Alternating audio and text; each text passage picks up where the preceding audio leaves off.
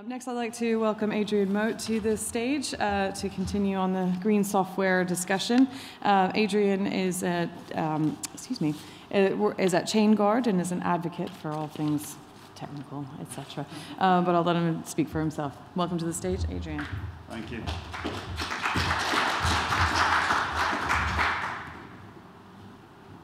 Is that the first thing? Oh, I've lost my notes. That's not going to go well. We were here earlier. Hmm. Oh well.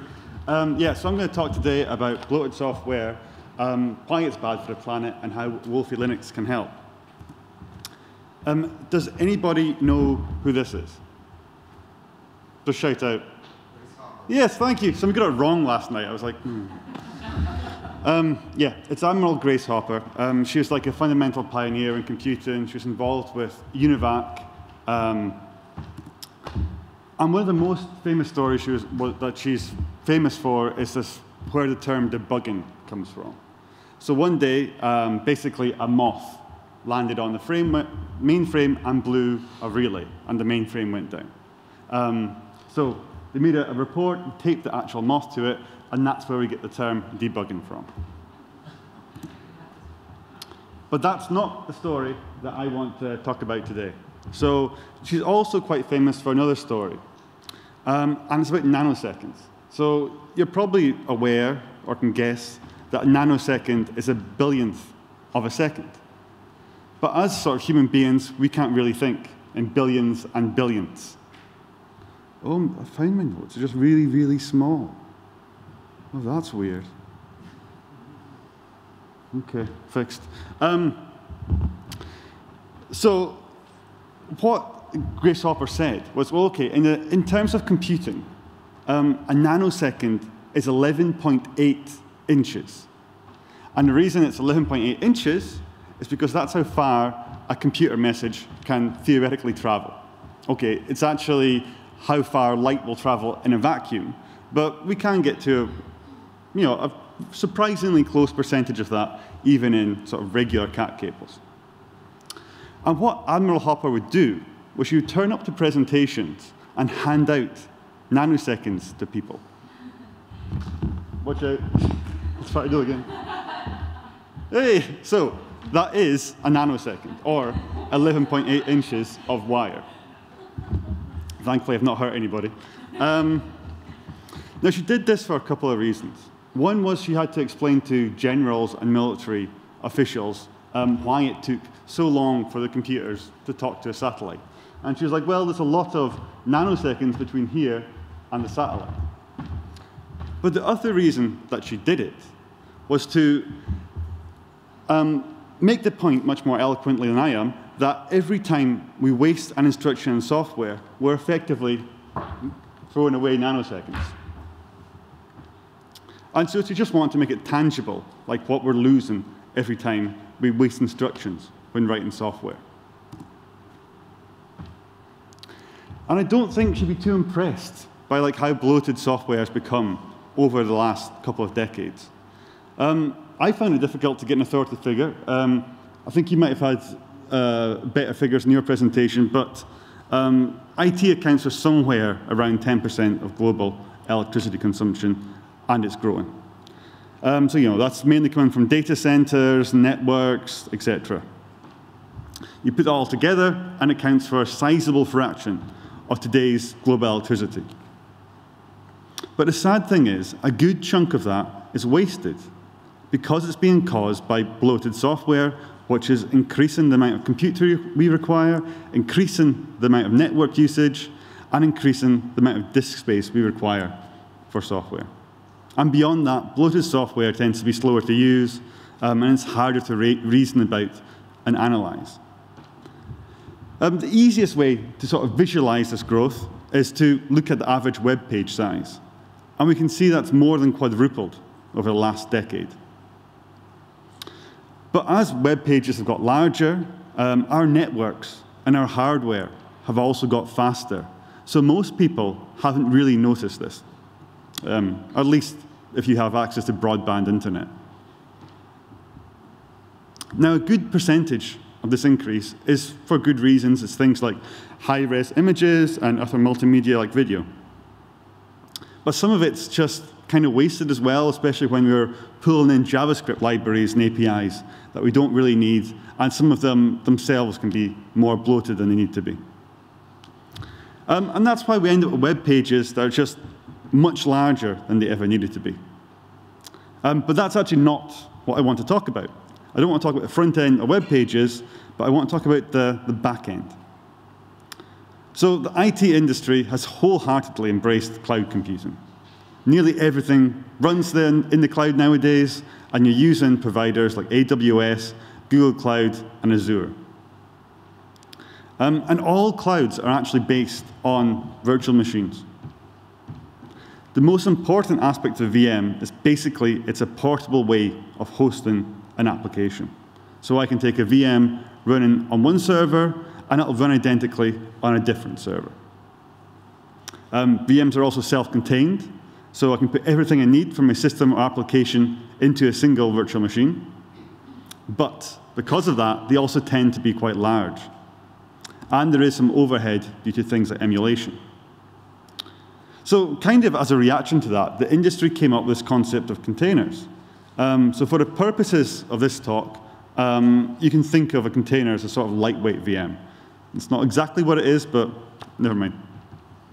Um, but basically, containers have most of the advantages of VMs, but considerably less overhead. Um, but the big difference is that containers are designed to host a single application or process, whereas a virtual machine will typically have multiple applications and processes inside it. And the offshoot of this is that we've gone from having like 100 gigabyte VMs to 100 megabyte containers. So that's an order of magnitude smaller. Um, now, that's not an entirely fair comparison uh, because you'll need multiple containers to uh, mimic your, your VM with multiple applications running inside it, but it still gives you an idea of what I'm talking about. Um, and that brings us to the, the main part of this talk, which is on operating systems. And I'm talking about Linux operating systems here, which are the, the standard in the cloud. So things like uh, our distributions like Red Hat, uh, Alpine there, Debian, uh, and Ubuntu. Now, all these projects started by targeting servers. So they're designed to run on hardware, especially racks in a server room somewhere. And then we moved to VMs. And that was largely fine. But now we've moved to containers. And it's still okay, but now we're basically running these operating systems that are designed for running servers with multiple users and multiple applications, etc. But we're using them to run a tiny little container with one process. And so that's basically the reason why Google started the distroless project. What Google did was they took the Debian operating system and they said, well, how much can we pull out of Debian and still have something left that can run our application in a container? And what they found was they could pull out most of it. Um, you do still need a few things, such as TLS certificates to talk to websites um, and other systems securely.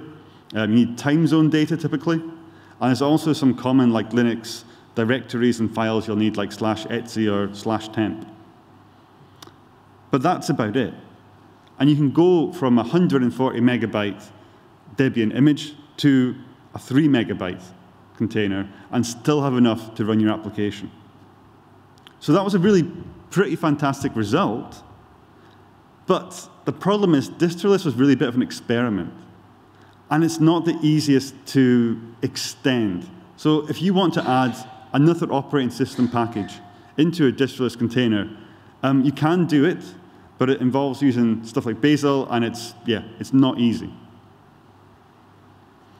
Um, and that's one of the reasons why ChainGuard created the Wolfi Linux distribution. Um, and the Wolfi Linux distribution was designed from the start to allow you to create small containers that run in the cloud. In a lot of ways, it's a spiritual successor to Distroless, as several of the people that worked on a Distroless project at Google um, are actually founders of ChainGuard and the Wolfi project. And also, it's very similar goals for Distroless and Wolfi. But Wolfi's not designed to be a full-blown operating system running dozens of synchronous applications and multiple users. Um, and so to be more technical for a moment, um, what this means is in Wolfi, our packages are compiled and performance tuned for common C cloud CPUs such as Graviton. Um, we make sure our packages are broken down into small pieces so your containers can only, only pull in the software they actually need. Uh, we don't supply a kernel because if you're using containers, you'll generally use the, the host operating system kernel. And basically, this is the result of applying these techniques. So if we look at the size of various container base images, you can see on the left there, we've got the Red Hat Fedora image. Um, and then you've got Debian in green there. Um, and then we've got the Ubuntu image, which just gets down to around 70 megabytes. Um, and then Alpine, it's a lot smaller. So Alpine is quite a minimal Linux distribution. And it gets down to 7.66 megabytes. Um, but way down at the bottom, we have both the distroless, um, the Google distroless image and the ChainGuard image, um, sorry, the Wolfi image, which are around 3 megabytes. So that's a lot of software and a lot of bloat that we've managed to get rid of.